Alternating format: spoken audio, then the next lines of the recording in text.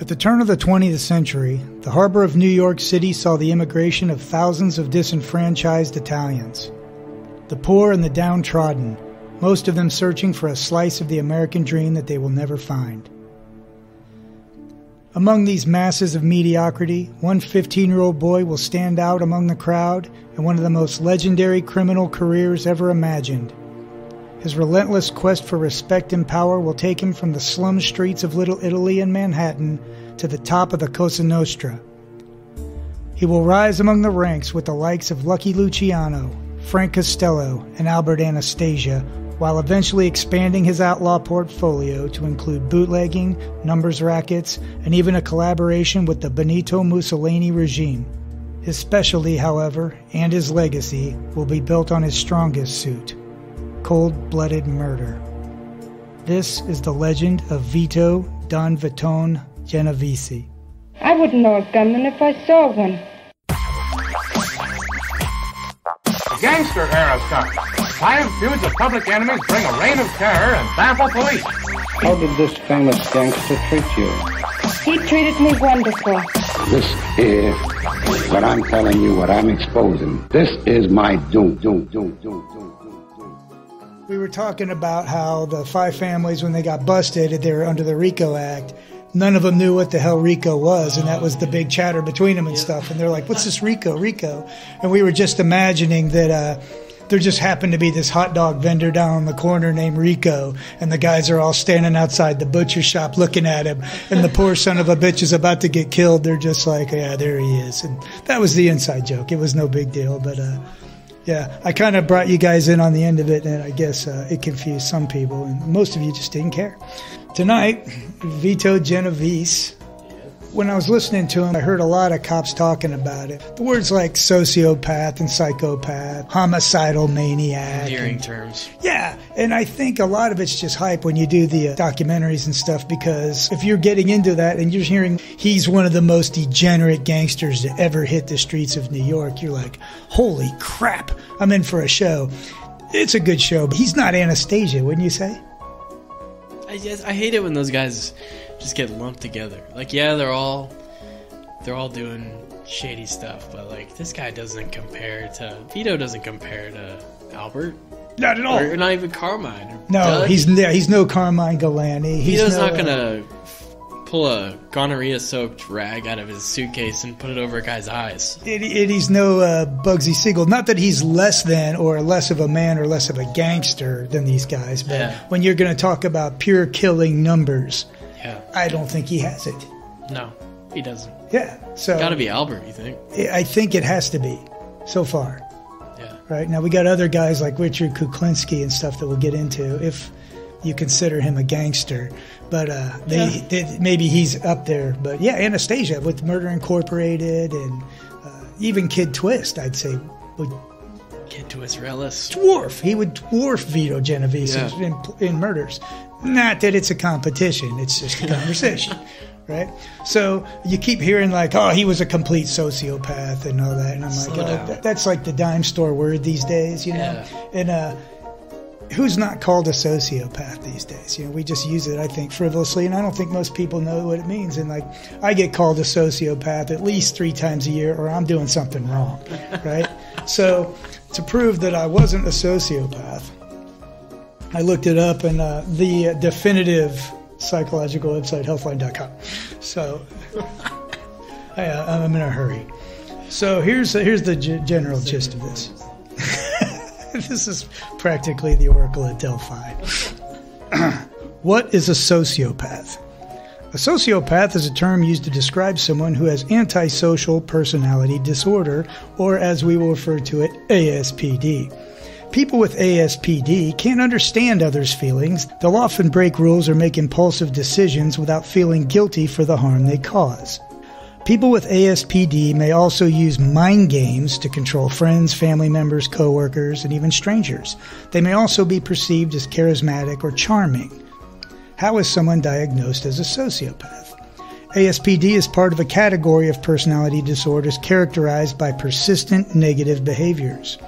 The new edition of the Diagnostic and Statistical Manual of Mental Disorders, or you probably all know it as the DSM 5, says that someone with ASPD consistently shows a lack of regard for others' feelings or violations of people's rights. People with ASPD may not realize that they have these behaviors, they may live their entire lives without a diagnosis.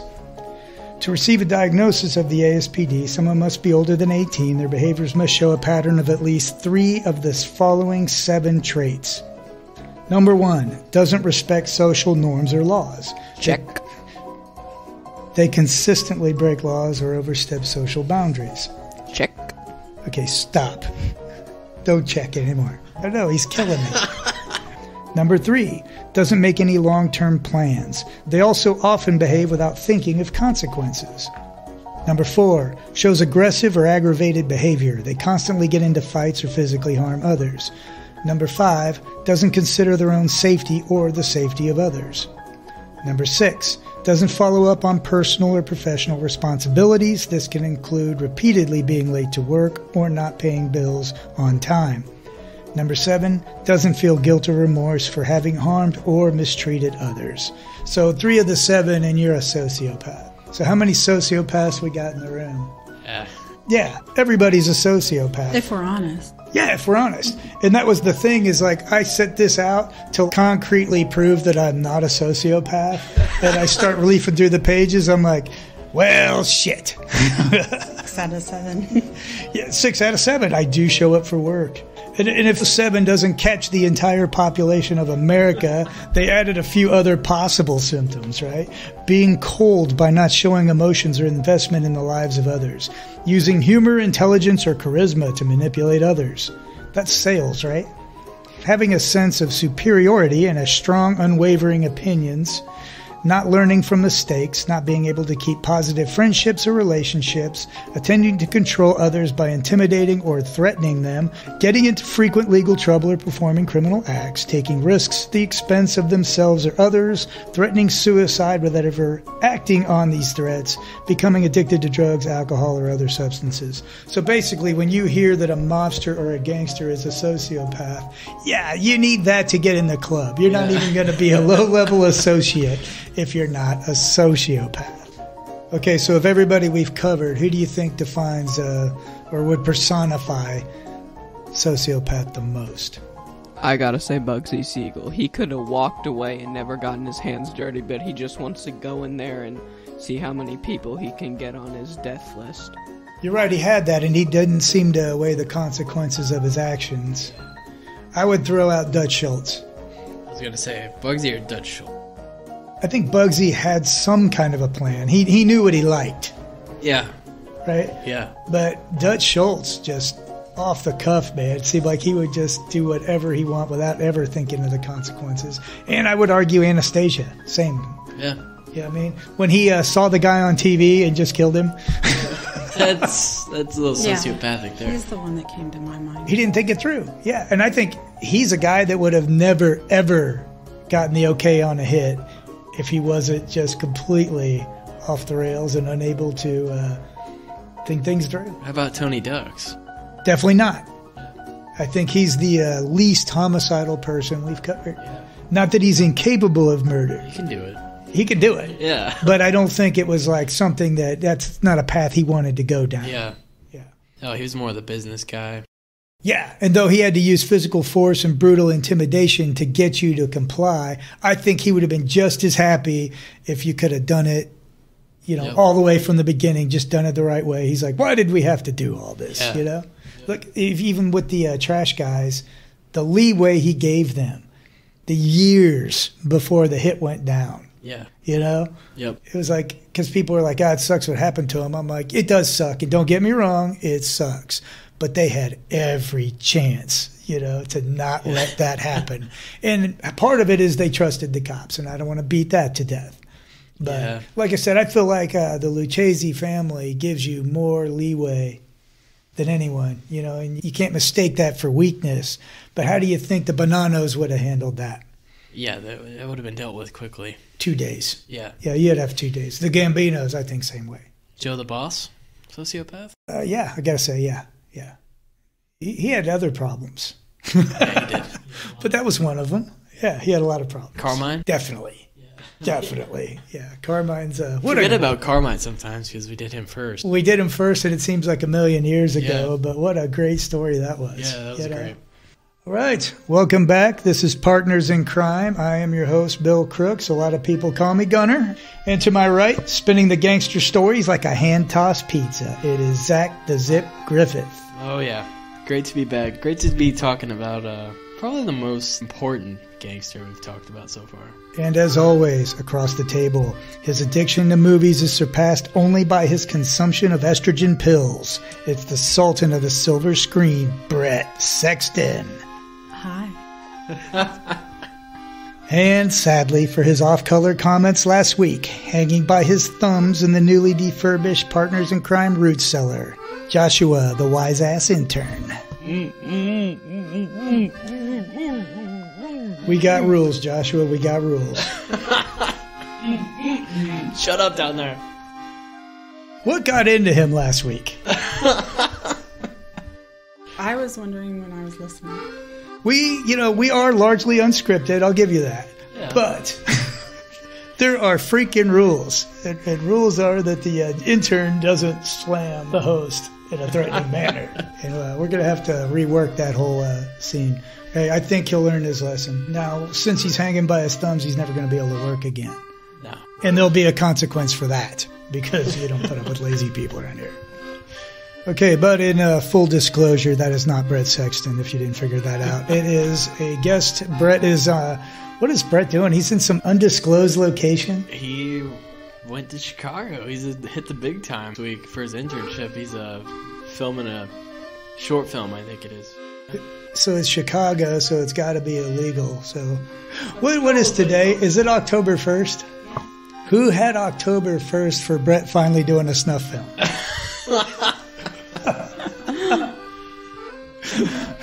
Intern, we're gonna have you look that up in the pool. But it, like I said, in full disclosure, that's not Brett. It is my sister standing in, Anne Marie Giuliano. Say hello. Hello. Good to be here. And uh, she's going to help us out tonight. It's going to be just fine. Don't worry. All right, let's get started. Vito Genovese is born on November 21, 1897, in Rosigliano Tufino, a town in the Naples province of Italy.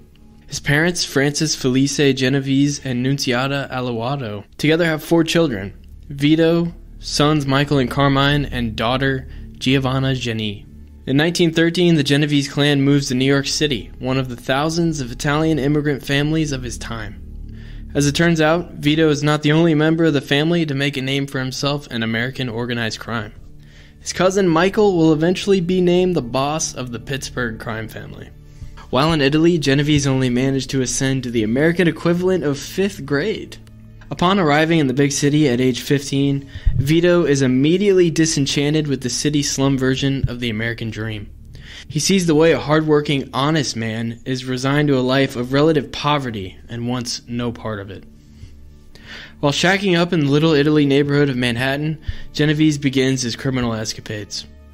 Running simple errands for some of the most violent mobsters of his era and thieving merchandise from local pushcart vendors, young Vito gains enough respect from the upper levels of crime to be trusted with collecting money from people playing the illegal lotteries.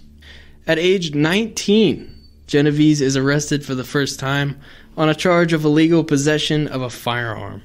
So he was apparently accosted by police for whatever reason. They searched him, and what they find is a loaded revolver tucked in his waistband. So he's already heavily into the game by this point. And uh, like I've watched a bunch of stuff on him and read some stuff. It seems like he killed a couple people already, at least one. You know, and- but they keep saying he killed a hoodlum and stuff, and I don't. I wonder if they don't confuse that with the card game thing that we'll get into later. So I'm not sure if it was two legitimate kills. They have no information on who it is or anything like that, or you know, I'd bring it up. But it seems like he's already had a couple run-ins like that. He's making a name for himself. So then he's got the loaded revolver in his pants, and that's his first real documented uh, arrest. 19 might not have been considered young back then like it is now, but Right. True. killed two guys by 19. But Anastasia was on death row at 17. So he's an amateur. Yeah. When the early 1920s roll around, Genovese gets into business with Joe the Boss Masseria, boss of a powerful Manhattan gang that will eventually wear the name Genovese. Gradually, with help from Lucky Luciano and Frank Costello, Genovese assists in operating a successful bootlegging operation with financial aid from Arnold Rothstein, the gambling kingpin behind the Black Sox scandal, and a man looking to make a profit during the Prohibition era. So I got a good story for this. The first time Costello introduces Genovese to Lansky and Siegel as their partners in various enterprises, Genovese says, What are you trying to do? Load us up with a bunch of heaps? and Costello snaps back like, "Take it easy, Don Vitone. You're nothing but an effing foreigner yourself." So it seems like uh, there was a there was a bit of uh, early cultural. Uh, what do you want to say? Cultural integration problems with a lot of the gangs. Like we always kind of take for granted that these are the guys that were the pioneers of. Uh, you know, uh, the end of the Sicilian era and stuff. But uh, there's plenty of racism to go around as Masseria doesn't like Costello and Genovese he doesn't like them that well because they're not Sicilian. They're from uh, Calabria and Naples, respectively, and uh, he tolerates them for Luciano as they're Italians, but he declares openly that they will never rise above the rank of soldier. So even the Italians from the northern parts of Italy, they're out. Just not a good business plan. It's it's really a tough tough thing. But you got to remember when these guys come over, they are ostracized and segregated, and uh, you don't think of Italians being um, like discriminated against as heavily, but they really were. There'll be signs in a window in New York City that says we don't serve Italians. You know, so they're not considered white people, and they're not they're not accepted at all. So uh, they're they're looped in with uh, the Sicilians who are the same way, and between Italians and Sicilians, there's a big difference yeah. to them. You know, to everybody else, they're all just Italians, right? They mostly stick to Little Italy because of what you said, the signs in the windows and stuff. Like right. we saw in Godfather 2. Like, if you're Italian, you're in Little Italy. Just like uh, Meyer Lansky and those guys were stuck over in the Jewish neighborhood and stuff. Yeah. Yeah. Till Luciano poked his head over there and tried to shake him down. Much like Columbus coming to the New World and shaking down the Native Americans. This this Vito Genovese story is going to tie a lot of our stories together. This is like the thread that's going to weave all our different episodes. Yeah. And, you already heard Joe the Boss's name. And make it the beautiful tapestry that it was meant to be. so at this point, you got to remember Genovese was involved in the shooting of Umberto Valenti beside Luciano in the Masseria episode. Like when uh, he was getting away down that car. Uh, yeah. We could probably pull that up. Suddenly, both sides start shooting at each other as the Duke Valenti tries to make his escape. Despite the hail of gunfire directed his way, he manages to make it outside. Still dodging bullets, he leaps on the running boards of a passing car. In the street, an eight year old girl is playing outside her grandfather's store near a road sweeper performing his duties. The gangsters pay them no mind, and the girl is shot in the chest. The road sweeper falls back into a gutter and is also seriously injured. Valenti gets fairly far down the street and it looks like he will make his getaway, but one lone gunman stands calm and gets off one more carefully aimed shot. Only seconds away from a narrow escape, the man called the Ghost becomes a real ghost as he is struck in the chest and falls dead. The calm assassin is reported to be a young man by the name of Charlie Luciano, who has brought along his up and comer gunman pal, Vito Genovese. Yeah, you remember that. Yeah. Okay, so Lucky got that shot in. Vito was right by his side, and Vito had been introduced to Masseria by Luciano at this point. In 1930, when police stumble upon a measly $1 million in counterfeit bills, Genovese is brought in and indicted on the charges. Later that year, Joe the Boss Masseria begins to suspect that old Tom Reina is helping his arch rival Salvatore Maranzano. Joe's response? He allegedly sends the young Genovese to carry out the hit on Reina. So Maranzano's in town now. He's been ousted from Sicily by Mussolini, who despises the Sicilian mafia. And uh, Mussolini is hunting them down and killing them. And we've covered this a little bit, but I'm not sure to what detail, like we've actually thrown it in. So Masseria is coming here, not just because he was a successful mafioso, which he was, but he's also on the run, and he figures America is the land of opportunity. He knows there's some Italian gangs and things happening, but he figures they're going to be weak Yeah. compared to the things he's used to, and uh, he's right. You know, it's it's relatively easy. His only obstacle is Masseria. Yep. Like, and no matter how tough you are, there's always some other douchebag that's in the way of what you want. Like, no matter how good you are, there's one guy Yeah. that just gets in your crawl. And uh, with Genovese, we're going to find that one guy changes, but the one guy is always there that gets in his way. Usually not in his way for too long. One great story this guy met Maranzano when he was like two weeks in New York. So he's coming in, and he's putting his posse and stuff together. You got to see this guy, right? So he's like, all right, so we'll meet this guy. He said he goes into this room and it's kind of dark and he's sitting in a chair. He's got his leather jacket on and his hat's down over his eyes. It reminds me of that show Fargo that's on now, right? Yep. But he says Masseria has two pistols tucked in the waistband of the front of his pants. He's looking at him real intent, and there's 90 guys standing behind him, and every single one of them is armed to the teeth. Wow. And that's how you meet Maranzano. but it was just like, just hearing it, you know, hearing about a guy that had said it a long time ago. I'm Yeah. like, you just, it, it really painted the scene, and what a badass, you know. And uh, we will get to him. You Oh, yeah. But, but uh, Maranzano is uh, just, uh, just a beautiful figure in uh, gangland lore, in my opinion. On February 26, 1930, most likely with some false pretense of working late, Reina is creeping out of his mistress's home in the Bronx. Intercepted somewhere between his lover and his next appointment, Reina soon wishes he actually had been working late this night when his skull is rearranged by a Genovese shotgun blast to the back of his head. In early 1931, Vito finds himself right in the throes of the Castellammarese War, an epic mob conflict between the Masseria and Maranzano factions.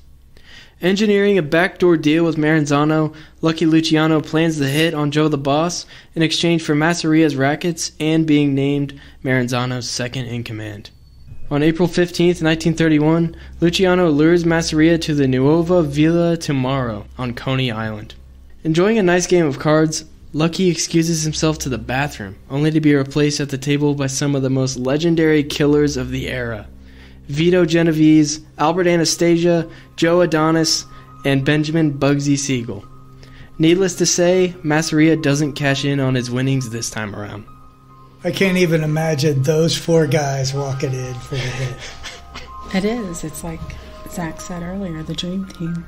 But the thing is, too, you're thinking about it in hindsight. You know, Masseria, two of them are Jewish, right?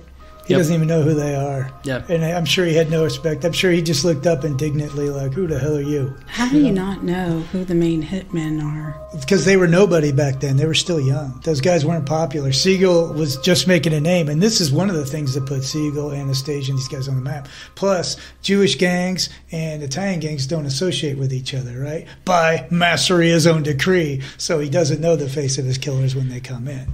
So he doesn't know these guys. And that's the way they operate a lot of times. They bring in strangers Yeah, to do the hits. That was the beautiful thing about Murder Incorporated half Italian, half Jewish. If you got an Italian hit, you bring in the Jewish guys because when you're in an Italian war, you're looking for an Italian guy sneaking up on Yep. you. The Jews, they all look the same. He doesn't doesn't know they are. Same way with the Jews. The Italians come in And they all look the same. totally off the radar. Yeah, they don't deal together. They don't intermingle, and and it's also uh, we kind of covered this in Anastasia, right? When the police are trying to figure this out, the hitmen have absolutely no connection to these guys whatsoever. So there's no any you know the usual list of suspects. They all have alibis. So it's just a trick that they started early. That's on. brilliant. If you haven't heard the Masseria episode, you should go back. But uh, we'll play you a little clip. The the Masseria assassination went a little something like this. At some point, Lucky Luciano excuses himself to the restroom. It's the signal for the gunmen to make their advance. The hit is executed by professionals, and there will be no dodging bullets today as they charge through the front door, guns blazing. Joe has time to stand up, but he's an easy target at such close range. Two 38 caliber rounds are fired into his back immediately. Still, he manages to get to his feet. The assault continues at point blank range, only inches away. The next two shots so close that they spray his light gray jacket with a smudge of gunpowder. The next bullets burn through his ample body, piercing his heart, lungs, and liver. literally tearing them apart and exiting his torso. One final shot is delivered to the back of his head, shredding his brain and blowing his eye right out of its socket. Joe the Boss Masseria is dead before his bulk hits the hard wooden floor. Yeah, it was it was great fun. But that, that, that's what I was gonna say. It's all part of the tactic. Catch them by surprise. Use these four guys. Never seen their faces. Not the faces I would choose to be the last ones I saw. No, no, and uh, it's like I said, this is such a weird culture. I think today it, it's hard to even imagine living every single day Yeah. with the threat of murder. At the same time, you got to remember little Tony Ducks. Yep. He's that little rascal's uh, running around too. Legend has it that Siegel has to shove getaway driver Ciro, the artichoke king Terranova, out of the driver's seat because he's too shaken up by the violence adjacent to Luciano's potty break. Upon Masseria's death, Luciano takes over the family and names Genovese as his trusted underboss. Vito Genovese is Luciano's favorite hitman, even over Anastasia. He had said that uh, Vito was not only a efficient hitman, but Anastasia was too much of a hothead. Vito apparently had the discipline, you know, which also flies in the face that he's just this reckless homicidal maniac It's that everybody true. wants to portray him as. Yeah. And Luciano used him, at least at this point in his career, because he followed orders. He knew the plan. He didn't go rogue, you know. He's not going to kill somebody because he saw him on television Yeah. you know, Yeah. and, and he got mad, that kind of stuff. So he was actually uh, he was Luciano's right hand man for a, a long, long time. Wonder if uh, that rubbed Albert the wrong way. You know? Got stepped over. Did he notice? It might have been too dumb to notice, yeah. Or too self absorbed? Yeah. Well, I don't think at the time uh, Anastasia really had. You know, he's come off death row. Yeah. He owes Anastasia. Like you everything. said, age 17. Yeah, he owes Luciano everything because Yeah. Luciano got him off death row. He's just working and he's just killing people. So you know? Luciano And doesn't owe him anything. He don't. Oh God, no. He Yeah, him no. nothing. No. And he's just a tool of revenge for Luciano. And uh, like I said, like Anastasia, it's just like, hey, go kill that guy. Okay. Yeah. He just goes and kills him. He that's what he did. That was his thing. I don't think he, at least at this point, had his eyes on any kind of leadership position. He was just making money, and he was already resigned to the electric chair. Yeah. So it's all just gravy at this point. I don't think he gets into any kind of uh, long-term career planning until the dissolution of Murder Incorporated. yeah. After the, before that, he's just he's just a working stiff, living the dream. How about uh, Ciro Terranova? How do you get a nickname like that? The Artichoke King. Um, it's kind of odd. He gets his name because he began purchasing all the artichokes that came into New York and selling them for roughly three times more. So artichokes are a hot commodity. Yeah. N- nobody's growing them, you know, in the hood. So Yeah. the Italians, it's a, it's a heavy ingredient in northern Italian dishes. So it's it's well thought of. You want an artichoke? You gotta come to me. Or I choke you. but he, he created his own supply and demand, right? Yeah. And I bet he used that crazy artichoke line, and he made everybody like, "Artichoke you." No, I'm just kidding. There you go. You get three. Somebody else comes up. I'd like some. Yeah, to choke you. oh, you get four. You really laughed at that. Yeah. The more you laugh at his crazy one-liner, then the, the, more, more artichokes artichokes you you get. yeah. Not wasting any time after Masseria's demise, Genovese and Luciano plan the death of Maranzano in September 1931. Maranzano is scheduling the deaths of Genovese and Luciano, but should have pushed it up a couple days because the duo prepare a firing squad of four Jewish gangsters before he gets a chance to strike. On September 10th, 1931, when Maranzano summons Luciano, Genovese, and Frank Costello to a meeting in his office, they realize the odds of Maranzano taking a Luciano style restroom break are pretty solid. The preemptive hit team, supplied by Lansky and Siegel, are completely unknown to Maranzano and his people. Posing as federal agents, they see that Maranzano is eliminated. So, if you recall, that was the Bugsy Siegel episode, and uh, the murder went just a little bit like this. Now, this is the famous hit where Bugsy and company disguise themselves as federal agents, and Maranzano right now is going through some tax evasion stuff. So he's expecting some federal interference. He's he's telling all his guys like, play it cool, don't have any weapons in the office because they're expecting like the tip they're getting, which might have been fed by Luciano, is that this this raid is coming. So they're ready, right? So when these guys come in, they're all like, yeah, yeah, yeah, do what you got to do. They get their hands up on the wall, and these guys just start stabbing him in the sides. And Walked right into it. Yep. Yep. And he was yeah happily, you know, and we'll see that kind of trick again in the future. But that's what that's where it went down. After the hit, Luciano sets up the famed commission to rule over organized crime in the city. The next two years of Genovese's love life are very eventful. In 1931, Vito's wife Donata Ragone passes away of tuberculosis. Like a champ, the future mob boss shakes it off by brazenly announcing his intention to wed Anna Petillo, with just one problem. Petillo is married to Gerard Vernotico, a local Little Italy banker who had nothing, according to Kate Harmon, Genovese's grandniece. Put yourself in the shoes of Gerard here. Well, uh, you know, I'm going to hope that Gerard understands and he backs off. Not, like- a, not a chance. he just looks at his wife.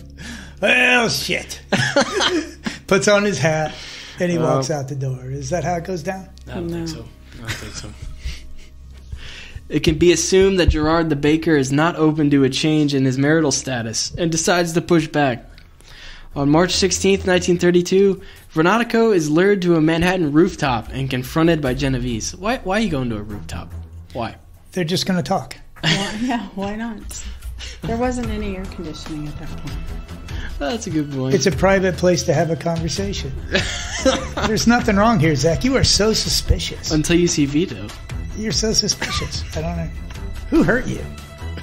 The stories we've read so far have You hurt should me. have heard him.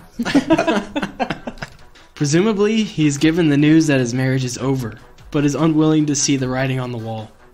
As gentlemanly negotiations deteriorate, Gerard the baker mm. is severely beaten. Unsatisfied, Vito oh. Genovese attacks from behind and wraps some manner of oh. cord around his neck, brutally squeezing the life from his body.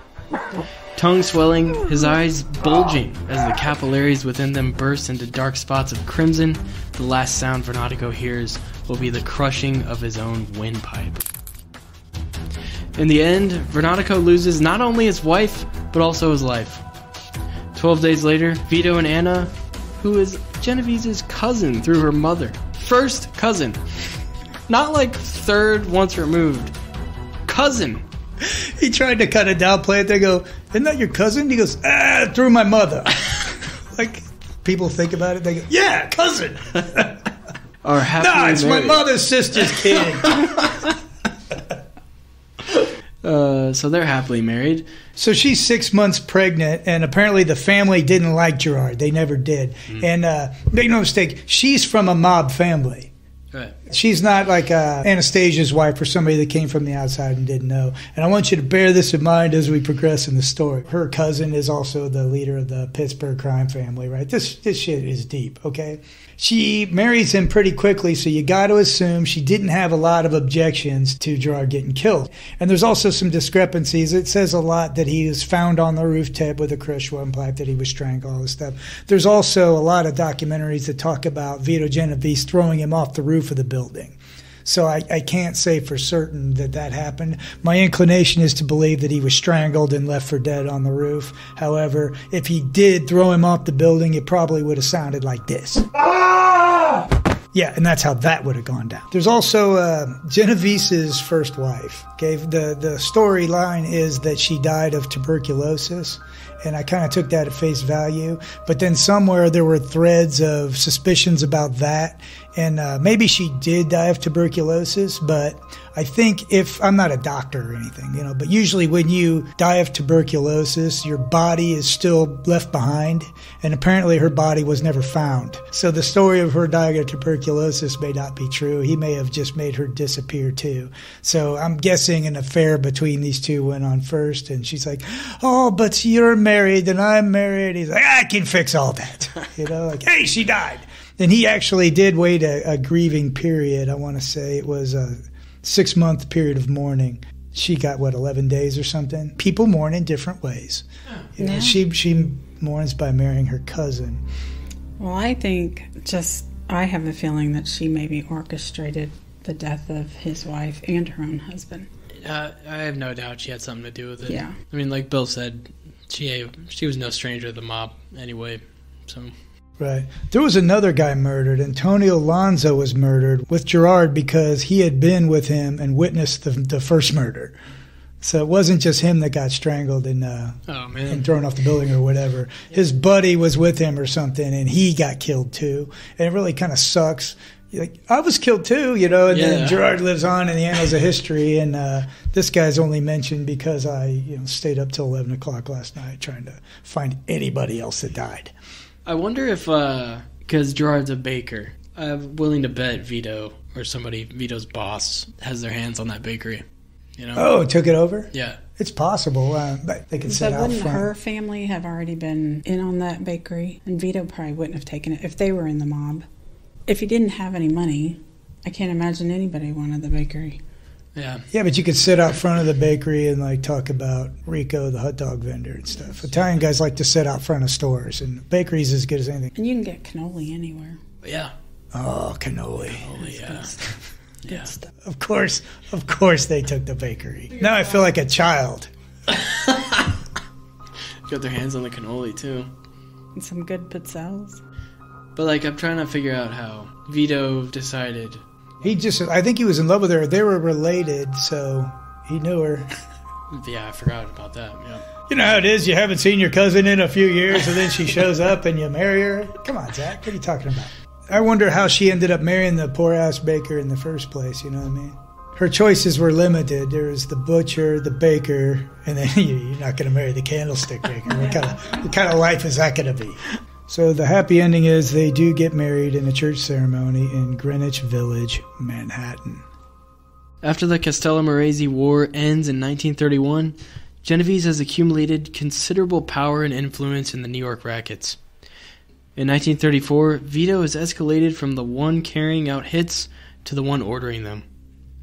I heard at the end of the war, uh, Genovese dressed up like a sailor and bent his sister over and laid a big kiss on her like that. Uh, no, he didn't do that. You're going to hell.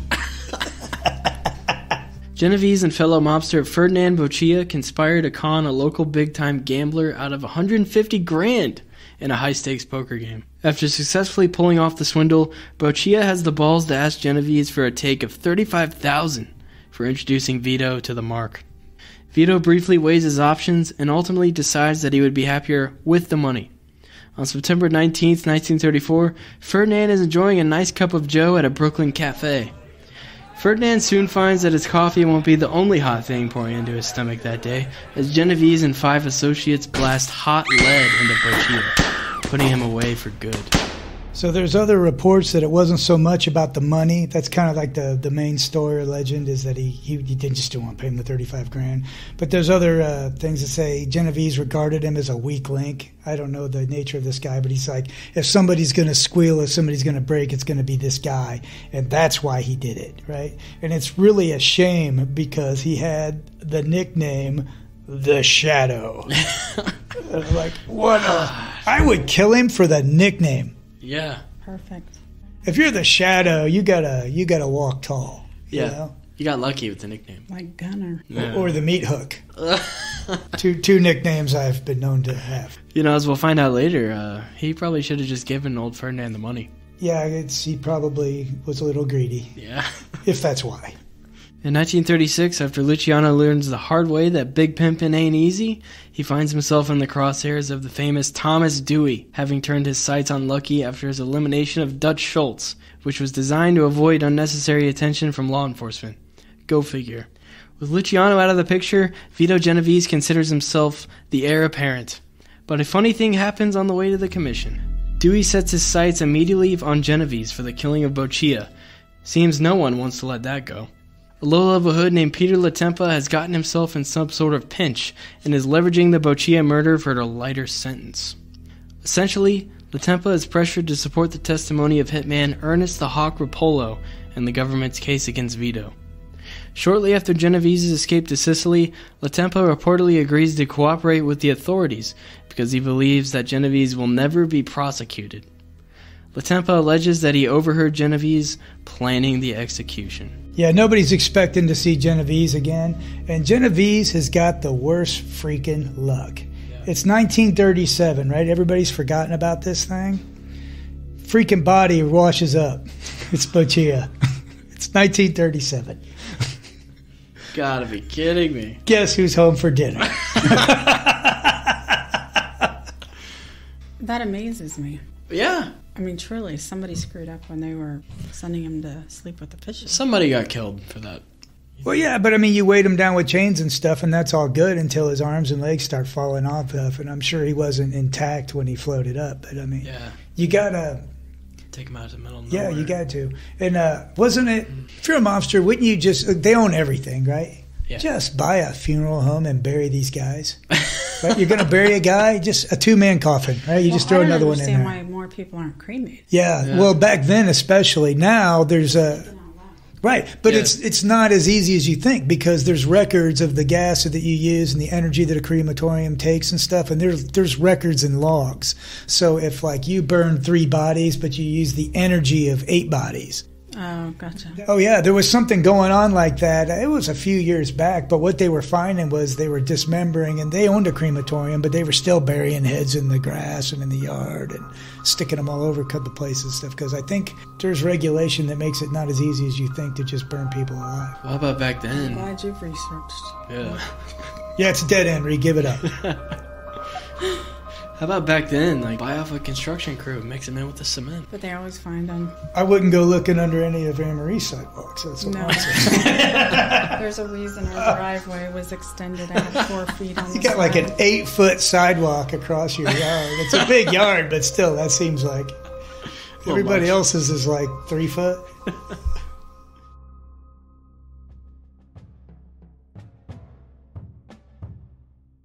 Right on the heels of becoming a naturalized U.S. citizen in November 1936 and having just anointed himself the new boss, Genovese is forced to flee to Nola, an Italian town near Naples, with 750 grand cash in a trunk. In his stead, Frank Costello leads the Luciano family. Like I said, there's always another guy in the way, and now it's going to be Costello.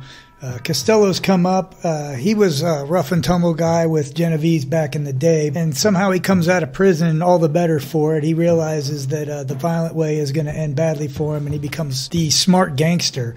Uh, his first move is uh, slot machines. He's known as king of the slots, and he's bringing in like half a million dollars a day in slots or something. It's ridiculous. So he's get the money and the power. He just passes up Genovese, and Genovese can get things, you know, with the with shooting people and with a gun, and Costello can do it with his brain and stuff. We'll get into him later. I don't want to cover him too much, but uh, he owns judges, lawyers. He's he's got all the power and wealth, and like anything Genovese can do with intimidation, he can do because people just want to do it for him. And so he, he rises to the top and quickly becomes Luciano's favorite, and he's making everybody just a ton of money. After leaving his crime family in New York City behind, Genovese decides to get in on the Mussolini family in Italy. Vito goes as far as befriending Galeazzo Ciano, the son-in-law of Mussolini himself. The friendship is a typical one, with Genovese providing Ciano some much-needed cocaine to get through these trying times in Italian history. By the end of World War II, Vito had become quite the political philanthropist. It is said that Genovese donated as much as $4 million to the fascist party led by Mussolini. The Italian leaders are so fond of Genovese that he is awarded the Order of Saints Maurice and Lazarus, a Catholic knighthood, and made a commendatore, or commander, after aiding the fascist efforts in Nola by creating a new headquarters there.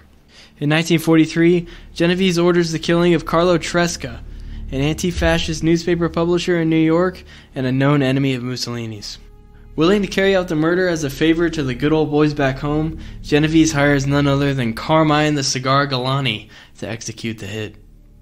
On January 11, 1943, Tresca is brutally gunned down outside his Manhattan publishing office. So we covered that in the Galante episode. If you don't remember, uh, it kind of went down like this. I think at 9:45 p.m., Tresca and a friend cross to the corner of Fifth Avenue. Galante, dressed in a brown overcoat, runs down the street, shoots Tresca twice at close range in full view of witnesses, and then leaps into the waiting car that speeds off west in the direction of Chelsea. So he didn't miss he didn't miss the jump this time. And it's it's interesting to me because Genovese used Galante. Galante, you think of him being more a Bonanno guy. Yeah. And so he so he, he does it from Sicily. So I don't think he had a direct line to Galante. So I'm thinking it's more likely Genovese calls somebody back in New York. Somebody says, "Oh, he calls Anastasia." Yeah, I bet it's a Murder it. Incorporated kind of thing. That's probably it. And he's like, it's a high profile hit. He don't want to use his organization. He goes to Galante. That makes sense because Anastasia had something to do with that payoff anyway. Remember? Mm-hmm. So that's that's probably how that went down. It probably wasn't a direct favor from Genovese to Galante. It was a roundabout favor. Makes more sense. Upon an American invasion of Italy in World War II, Genovese quickly realizes who's running the show. Vito quickly contacts U.S. commanders and generously becomes an interpreter for them. New York Governor Charles Poletti, who's the first Italian American governor in U.S. history, immediately proves that he can be bought off as he graciously accepts a 1938 Packard sedan from the philanthropic Vito. As an interpreter for the Allies, Genovese becomes one of the most trusted and valued employees in the Allied military government for occupied territories. Thing. Remember when I talked about the lawless years and they did that bogus Dutchman thing? Uh huh. I think they took this and incorporated it because remember they were going to use guns that were being sold overseas and they're like nobody's going to miss them for a month and all that and it was a pretty elaborate thing they had going for something that was complete bullshit and I think it was kind of borrowed from the script you know it was kind of borrowed from these kind of circumstances and stuff also you got to remember as he's stealing guns and food and doing all this stuff and just getting rich there's good old fashioned American citizens back home that are growing victory gardens, that are sacrificing metal and all the, the luxuries to supplement the war effort. Meanwhile, all these assholes are just blatantly abusing stuff, getting rich, and arming the underground Yeah. factions. And in some cases, uh, supplying aid and comfort to our enemies. Yeah. Thanks. Thanks. And but that's you know the theme of war. It seems over and over. I can just picture in a movie though a scene when they're dragging Mussolini's ass through the streets. Yeah. You can just you can see uh, this guy kind of off on the sidewalk smoking a cigar Yeah. As as they're dragging him and his wife by. Uh, that's a shame. yeah. I knew that let me, guy. Let me call the Americans. Wonder what they did with that car. exactly. I was gonna say it's kind of ironic because Mussolini ended up getting the death of a mobster anyway. Probably even worse Oh, than a mobster. I mean, didn't they like bury him and then they come and dig him up again to do more stuff to him? I mean, I mean, these are it. Italians. They They, do deserve hated it, this man. Yeah. I don't think there's a a cutoff to their. This is enough. Yeah.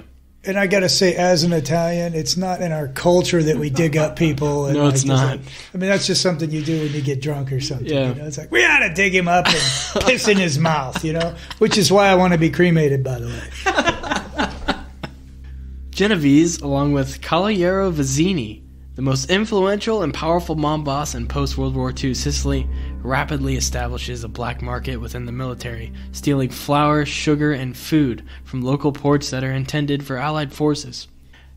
The operation flows smoothly, with Vizzini's trucks loading all Italian diet commodities and shipping them toward Naples, where Genovese's distribution network is waiting. Of course, all the trucks are issued AMGOT passes and export papers, and even some corrupted American officials get in on the racket by supplying them with gasoline and extra trucks. According to Luke Monzelli, a lieutenant in the Carabinieri, truckloads of food supplies were shipped from Vizzini to Genovese, all accompanied by the proper documents which had been certified by men in authority, mafia members in the service of Vizzini and Genovese. Soon, Genovese is comfortably controlling more than half of all military food imports and making huge profits from the operation. Just when business is starting to boom in Naples, things are going south for Genovese back in New York. Ernest the Hawk Rupolo is still pressing forward in his decision to implicate Vito in the Boccia murder, being faced with a murder rap himself. In August 1944, U.S. military police apprehend Genovese upon discovering his black market trucking operation. When investigating his criminal background for the Criminal Investigation Division, here's a name Agent Orange C. Dickey, stumbles upon Genovese's tie to the Boccia murder, but also finds that it's of little to no interest as far as the U.S. Army or federal government are concerned. Agent Orange. Come on, we're all adults here. I think it's orange. There's nothing funny about Agent Orange Dickey. Agent Orange Dickey. Now his sister, Purple Hoo Hoo, had a much rougher. Okay. Following months and months of hurdles, Agent Dickey is finally able to arrange for Genovese to be exported back to New York to stand trial for the Boccia killing. As it turns out, Dickey is the second coming of Eliot Ness, unwilling to fall victim to Genovese's 250 grand bribe offer. Upon his arrival home, Vito transfers his black market operations in Italy over to Luciano, who has been deported from the United States, released from prison for his cooperation in the war effort. Lucky expanded operations to include cigarettes and eventually heroin. There's Carmine. Carmine coming up. Yep, he's coming up. The next day, on June 2, 1945, Vito Genovese is arraigned on murder charges for the Boccia crime. The case against Genovese is still heavily dependent on the testimony of Peter Latempa and another cooperating witness named Jerry Esposito. Latempa is being kept safe in police custody until the trial is to begin. What could go wrong? It turns out plenty, as the witness in custody complains of gallstone pains and is administered painkillers by the guards. He's later found dead in his cell. According to the autopsy report, Latempa has enough toxins in his stomach to kill eight horses. You know, he should have been a little suspicious of the guard's medicine. It was like uh, the size of a handball. he had to take like seven or eight bites just to get it down. You know, I, mean, I I think he should have known. How do you take eight horse, Pills. eight horse killing horse pills? You gotta take this. It'll make you better. You serious? Yeah, you're gonna have to. He gives him a jug of water like the size of a two gallon bucket. You're probably gonna need this to wash it down. But see now, when I was reading it, part of me was wondering, did he make up the shit about the gallstones because he wanted a suicide? But they're not gonna give him a couple aspirin. They're not gonna give him. Uh, but maybe when you say I like, I'm having some gallstones. I think it goes like this: a guard comes in, he puts a pistol to his head, he says, "Open up," and he starts shoving these pills down his mouth, and he's like, "You're either gonna die this way, or you're gonna die with a bullet in your head. Either way, you're dead." That's tough. Yeah, That's that's, tough probably how it go. went down. But it's fun to think of him chomping on a handball-sized pill. Oh, You gotta admit, that's fun. that is funny. With their stash of witnesses running low, the prosecution scurries to locate Esposito. He's not hard to find, as he's found lying on a roadside in Norwood, New Jersey. It's unclear how he originally came to be at this random location, but what is clear is that he won't be able to testify, having been positively riddled by bullets. With their case dismantled, Genovese's murder charges are dismissed on June 10, 1946, the day Esposito's body is found. Judge Samuel Leibowitz sends Vito off with a heartwarming message. I cannot speak for the jury, but I believe that if there were even a shred of corroborating evidence, you would have been condemned to the chair. Okay, but wouldn't that be anybody that's if, there's a shred of corroborating evidence? That yeah, it's like that's another way of saying that you didn't really do it and we can't prove it. You know. Some showmanship from the judge. I'm not going to bust you for shoplifting, but if I had one shred of evidence or any stolen property, or if anything had been missing from that store, you'd have gone down for shoplifting. It probably sounded good when he rehearsed it at night. His wife said it sounded stern, you know? Just, it sounds really good. Come to bed. yes, you're very stern. Following his release in 1946, Genovese quickly re-ups with the Luciano family. However, Costello and Moretti have grown quite fond of their newfound power positions and aren't yet ready to relinquish them. At the historic Havana conference of that year, Genovese, in a private meeting in Luciano's hotel suite, tries to take back control of the situation by suggesting that Lucky become the boss of bosses, while allowing Vito to run everything else. Luciano, whose trust in Genovese is not as strong as his trust in Costello, turns down the proposition. Luciano says, There is no boss of bosses. I turned it down in front of everybody. If I ever change my mind, I will take the title. But it won't be up to you. Right now, you work for me, and I ain't in the mood to retire. Don't you ever let me hear this again, or I'll lose my temper.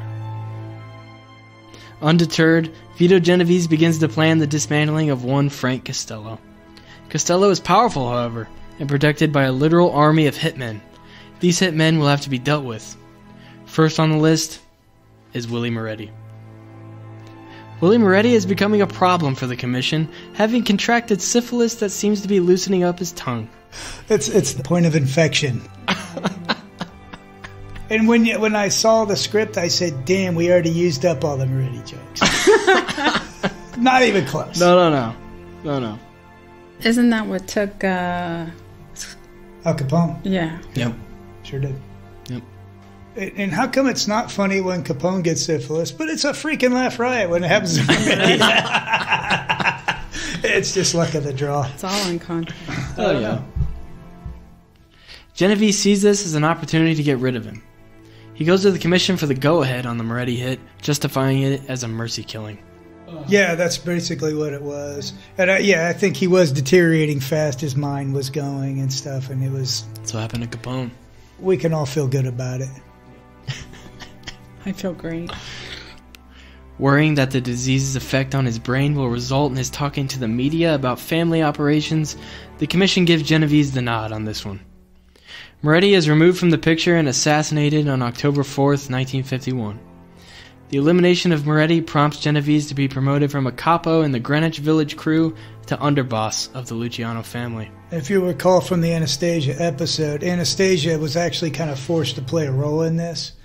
But he borrowed Moretti's bodyguard and stuff and kind of helped set it up, uh, begrudgingly, but he had his own problems, right? Yeah. But he has no idea that he's actually helping Genovese eliminate a team of hitmen and that he'll end up on the list. So, in, in effect, uh, Anastasia's just His own. he's set up himself. Yeah. He's he's just uh, crossed a few of his buddies off the list. Wanted to go back to Capone real quick because kind of touched on it last time.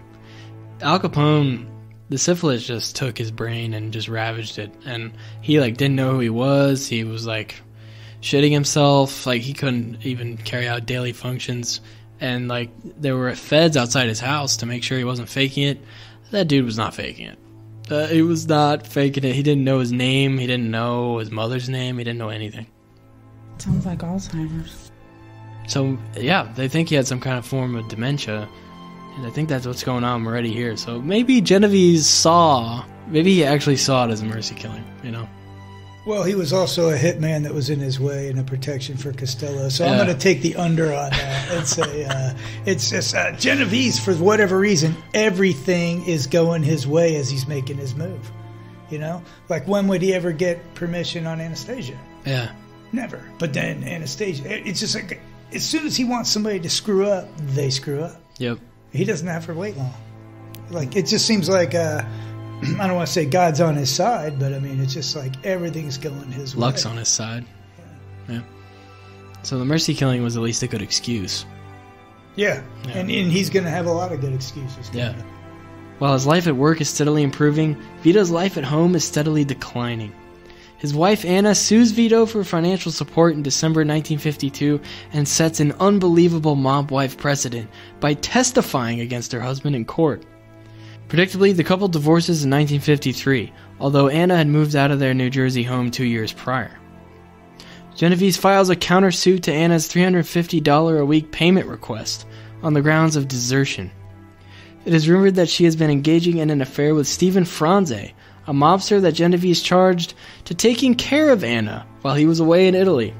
It's possible that Steve misunderstood the assignment. yeah. He did an excellent job, apparently. Anna is an interesting character in this. For one thing, she seems complicit in the murder of her husband, right? And she goes with him. But at this point now, he's been away too long, and she's gotten into the club scenes and things like that. And she's, uh, like I said, she's in the mob. Like she's running clubs with mobsters and with this guy Frances. They're getting into things and stuff. But the uh, controversial part is she's running gay clubs and drag clubs, and this is a long time ago. Like it's not like we think about today. Yeah, you get involved in something like this. They talk about um, persecution, you know, and systematic persecution. This was systematic persecution. Yeah. If you're running a drag club, they will shut your bar down. They will raid you. They will arrest people for being gay, for being dressed as a woman. They'll take away your liquor license, and it's all on the up and up. Like these people had it hard, and she's like really putting herself out there and running these things. She owned uh, Club 82 and a few others. The Club 82 was a drag club that had the tagline, Who's No Lady? She was big into that. But weren't there rumors though that she was bisexual? She was. She had a lover, and she Yep. was, she was a little gay. And uh, She had a lover for a long time. Right. Yeah. So all this is going on, and I believe like the reason she's flipping on her husband. I get a lot of this now. Somehow I'm the the authority on who's a rat and who's not a rat, right? Because you hate rats. So It's the big question is Anna a rat? Okay, I'll make it easy. She's a rat. Okay, she's in the mob. Everybody is a rat. Everybody is a rat. okay, and, and she's a rat too. But I'm gonna give her. I'm gonna give her this. All right. I think they leveraged her lifestyle and stuff, which would be used to destroy her.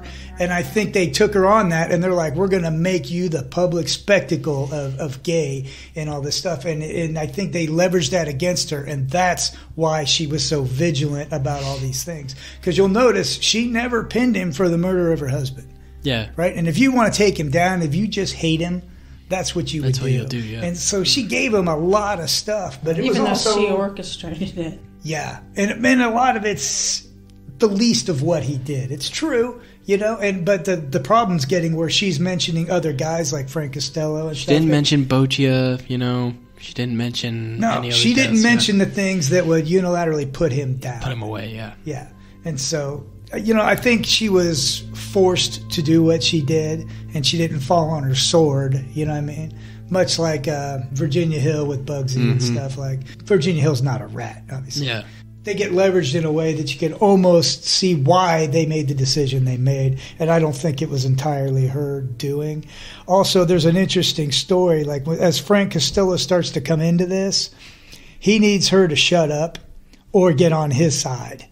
But he pays this lady, she's a reporter named Dorothy Kilgallen, and she's a syndicated newspaper columnist at the time of the trial, right? And he buys her something like a diamond pendant or a diamond cross. And uh, basically, she's paid off. And what he's doing is he's sending messages to Anna through the newspaper media, and she's saying things like, "If I were Mrs. Vito Genovese, I'd be awful careful crossing the streets," you know. And it's just like, can you imagine, like you're using Tucker Carlson to, Yeah. to threaten somebody, and you know, in, that's in witness protection and Yeah. stuff, and like it's amazing because we're all living our stupid lives, and like they say, there's these guys that are really deciding what's going on and you're home watching the news thinking you're just watching a news clip you're watching a reporter send a mob message Put to out uh, a hit on you. yes to, to shut your mouth and get your get your shit straight it's a it's a fascinating time in american history and Anna Genovese basically doubles down in court, claiming that her ex-husband controls the numbers rackets in the city and rakes in more than 1 million yearly. She also implicates him in owning numerous Greenwich Village nightclubs and a dog racing track in Virginia. Anna's claims prove to be futile, however, as the New Jersey Superior Court Appellate Division dismisses them in 1954. As a natural matter of course, Genovese orders the murder of Franse. The job goes to Joe Valachi, who will later be the first man to publicly acknowledge the mob's existence in court to take out Loverboy Steven. Valachi, luring Franse to his restaurant in the Bronx, watching on as Anna's lover is strangled to death by Pasquale Pagano and Valachi's nephew, Fiore Siano. By the time the 50s roll around, Vito Genovese has had enough of Frank Costello. In order to move in on him, however, he'll first have to deal with Albert Anastasia, a staunch ally of Costello's on the commission. Genovese concocts a plan to remove Albert by corrupting Anastasia's underboss, Carlo Gambino. Genovese convinces Gambino that his future would be brighter in a post Anastasia world, and Gambino agrees. 1957 proves to be a busy year for Genovese and company. Early in the year, Genovese oversees his plan against Costello go into motion. Vincent Gigante, future boss of the family, is ordered to kill Costello. On May 2nd, 1957, Gigante shoots and seriously wounds Costello just outside his apartment complex. Although not dead, Frank gets the message and kindly steps aside for the retired life. So we kind of covered this in the Anastasia episode. Costello was on the alliance side of Anastasia and these guys. So it's Costello, Anastasia, the now dead uh, Moretti. They're on one side, and Genovese is on the other side. So this is part of the systematic elimination. Let's go back and we'll hear that. It's 1957 and the hit on Frank Costello is underway.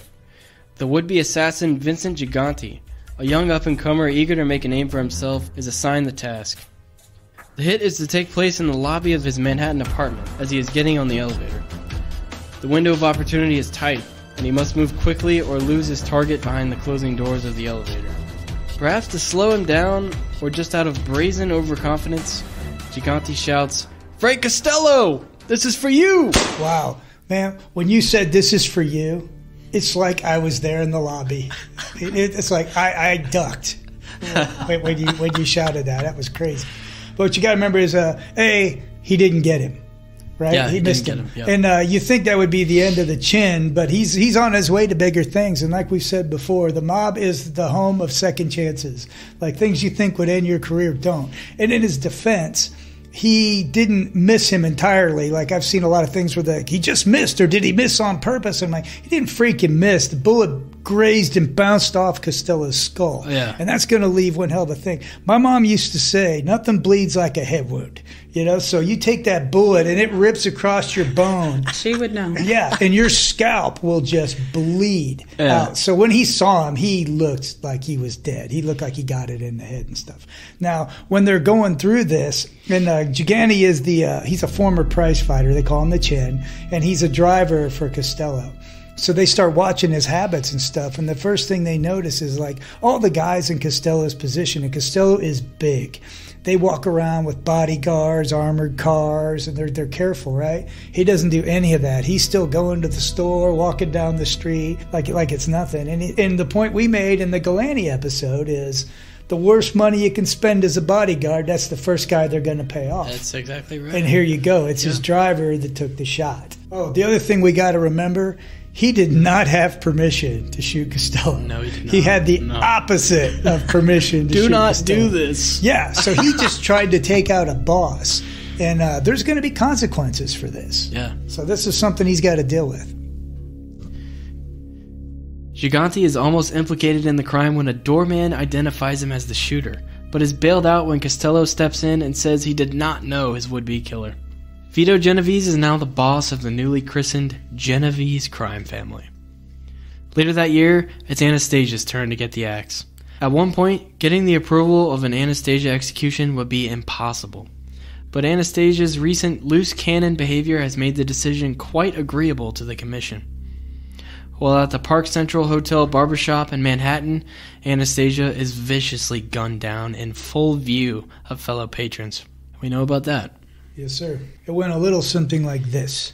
The barber shop has two entrances. One is from a corridor off the 55th Street side of the hotel and is connected to the shop by a small foyer.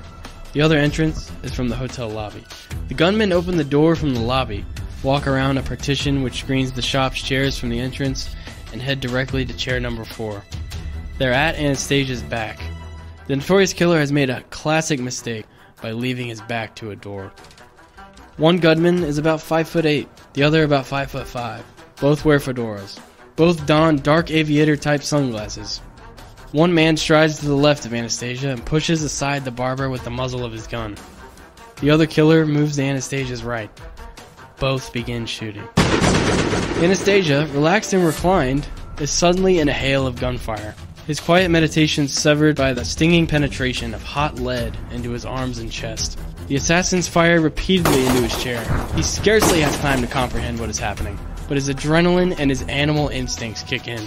He manages to uncover his face and sees the shapes of his attackers.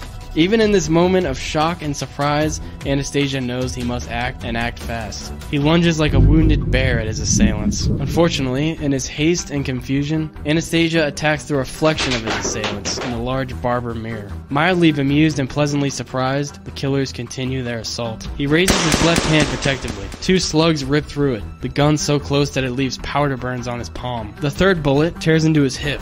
Still encumbered by the hot towels, Anastasia stumbles toward chair number three. The fourth bullet crashes in the back of his head. The fifth slug hits his back. Anastasia falls dead on his back between chairs two and three. In November 1957, Genovese seeks recognition and legitimization by holding a national Cosa Nostra meeting. Stefano the Undertaker Magaddino, a boss in Buffalo, is chosen to oversee the arrangements. The Undertaker, however, transfers his duties to Pennsylvania boss Joseph Barbara and his underboss Russell Bufalino. At what becomes known as the Apalachin Meeting, the crime lords discuss the gambling and drug smuggling aspects of the Manhattan Island. Edgar D. Croswell, a New York State trooper, becomes increasingly aware that something unusual is going down at the Barbara residence. When Barbara's son is rapidly reserving rooms in local hotels around town, Croswell gets even more suspicious. So Croswell apparently calls for backup. And uh, for being back then, they seem to have a pretty good network and stuff. And he's like, send me everyone you got, right? And they send like 50 state troopers over there. So, that, I mean, they surround this place. The other thing you got to remember is the real reason for this meeting is because he took a shot at a boss. He's in trouble, right? So he's going to like have this big meeting and try to like patch everything up. That's a big part of what's going on here. He's going to explain how he's justified in doing what he did and stuff. So then there's other things going on like 30 pounds of three different kinds of meat are being ordered. There's all this food. I mean, it's a, it's a crazy thing going on. And this is a small little town. Yeah. So this whole thing is stupid, right? And uh, it, it kind of mirrors what we just saw happen in Sicily you know, when they raided that and took down all these guys. But this is the reason, this is the reason that nobody does this anymore. State police, upon discovering multiple lines of luxury cars parked outside Barbara's home, gradually set up a roadblock after many of the license plates come back with wanted criminals as the owners of the vehicles. It's unclear who looked out the window and saw the blockade first, but pretty soon, mobsters of all shapes and sizes are rushing to flee the scene on foot and by car. So they're raiding it like a high school drunk party, you know, like they're actually like in silk suits and they're all hauling ass into the woods and stuff. It reminds me of, do you see The Sopranos when Johnny Sack's place got busted? Yep. And Tony just inexplicably runs into the woods and then they show him with like one shoe on, showing up at his house. That's what it's like. Yeah. That was great. Yeah. and one guy actually runs to this rundown farmhouse and uh, when the cops are getting close, he just stands on the porch, leaning on a post like he lives there. But he's in this Italian, you know, thousand dollar suit, and he's just standing on this rickety old hillbilly porch like like nothing's wrong, you know. So they don't go for it; they bust him. Weird. Smartly, Russell Bufalino decides to use some reverse psychology on the troopers by attempting to avoid their roadblock using his car. Shockingly, it doesn't work. Police stop the car, seeing that Bufalino is accompanied by Genovese and three others. Out of options, Bufalino claims they've come to visit their gravely ill friend Barbara. Genovese claims they're simply in town for a barbecue and business talks. Believe it or not, the cops are convinced, and Bufalino and company are let go. Now, uh, you remember Bufalino just got played by Joe Pesci in The yeah, Irishman. Brilliantly played by yeah, Joe yeah. Pesci. I heard an interview with Orlando Spado, and he said he played him to a T. You know, he's like he did a great job of course and he stuff. did. But after everybody gets busted, right? Somehow the word gets out that this is the the bullshit line that worked, right? So now all of a sudden 50 guys are trying to say that they're there for a sick friend and stuff, but the line's been used up. You know what I ah. mean? It's really pathetic and they're like, "I'm here for a sick friend." And they're like, "Yeah, yeah, yeah, yeah, yeah." No. Oh, yeah, so this this worked for these guys, but everybody else it's it's not working and stuff. Guess who they blame for this?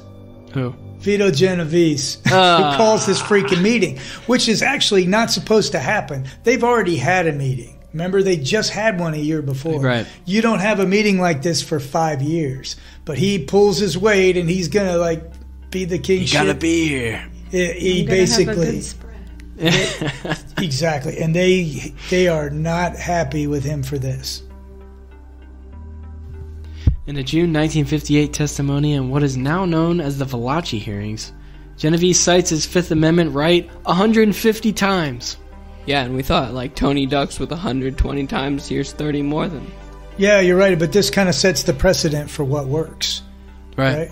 Like this is what you do to get out of trouble. You Yep. get like Frank Costello running his mouth and trying to play the nice guy, and it, it hung him out to dry.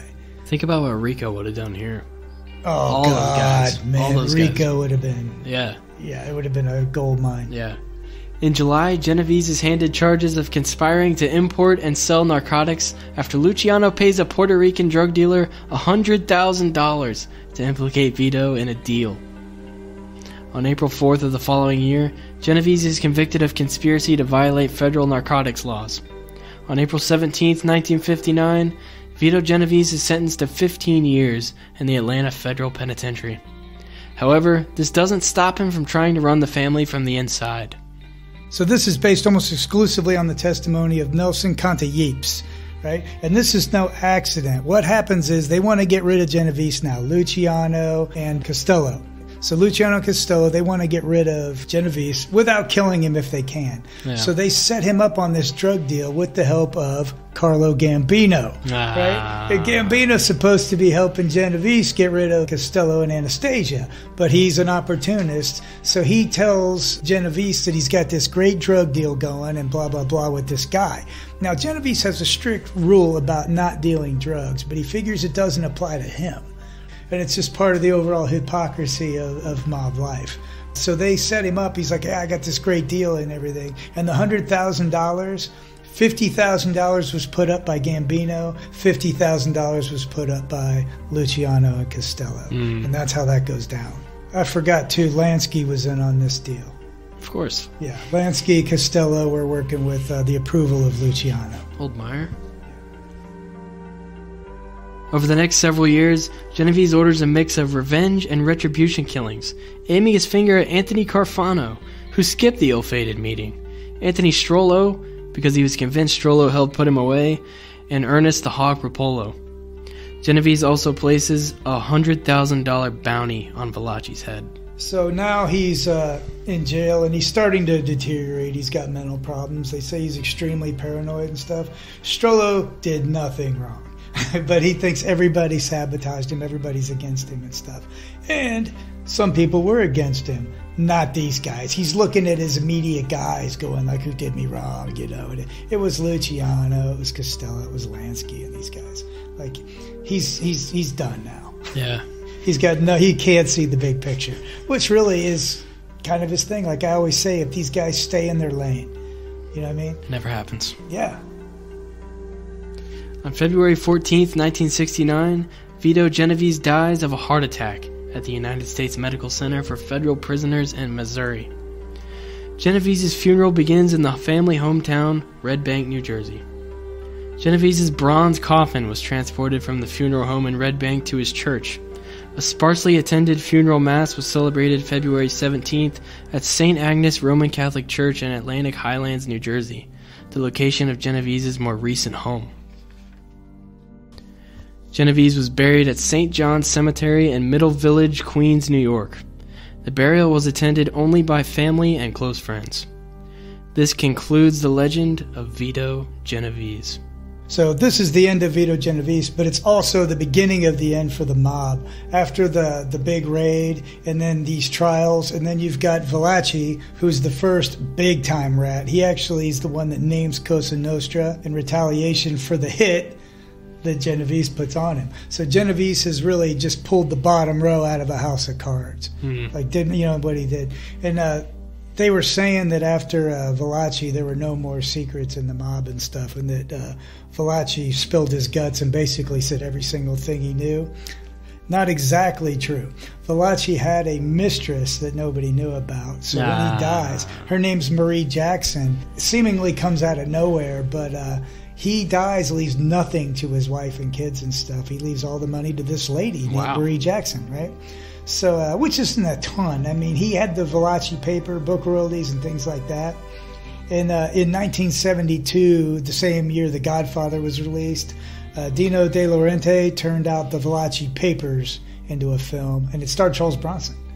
So Oh, I don't know if she got money from that, but there were the book deals and things like that. So she ended up with a decent chunk of change. And uh, at the end, she was, I think she did her last interview in 1995, kind of just on a goof. And she spoke uh, of, of the royalties and things like that.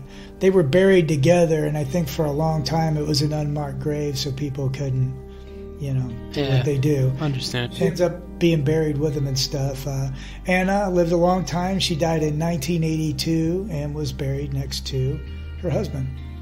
Next to Vito. Yeah. Wow. Who, who never put a hit out on her, which uh, just adds my belief that. Ah, I don't, uh, I don't know. I don't know. When you're dead, maybe you don't have a choice. They just carry you to the hole and drop you in, and that's where you're buried. Life. Yep. Maybe it was already uh, It was already paid for. Yeah, yeah, they'd already dug it. we can't get our money back. It's New York, man. The rent was cheap. Maybe it was a family choice, but even then, I don't know why they would, uh, you know. but it's back to her being uh, marginalized by the government. Yeah. You know, but maybe the whole thing was because why wouldn't they kill her for what she did? Hmm They didn't. You know what I mean? So I think So he must have said no. He had to have said don't. Yeah. Because he's the only one that could have stopped it. Because did they have kids? They had to have had kids together, right? Oh yeah, yeah. Yeah. So. And I think she did at least have the uh, benefit of dying with her lover present. Yeah. She was there when she died and stuff. But Yeah. uh, I just, I don't know, the whole thing makes me think like Costello could have killed her. He still had uh, things to lose. People with things to lose could have killed her. They Yeah. didn't. So I really think they it was understood why she did what she did, and she did minimally what she had to. That's just kind of my impression of it. Before we wrap it up, I just want to give a shout out to the Emeritus Social Club on Instagram. If you haven't uh, checked out their profile, check it out. They put a ton of interesting stuff, uh, not just pictures and stuff, but they have long explanations and stories and everything. And uh, anytime I can, I try to take notes. And uh, I know my phone is full of stuff I've saved from them and stuff. So give them a, a shout out. They're they're great people. So uh, Joshua, you got anything else to say? Make sure to buy Ori Spado's new book, The Accidental Gangster. And uh, have a good night.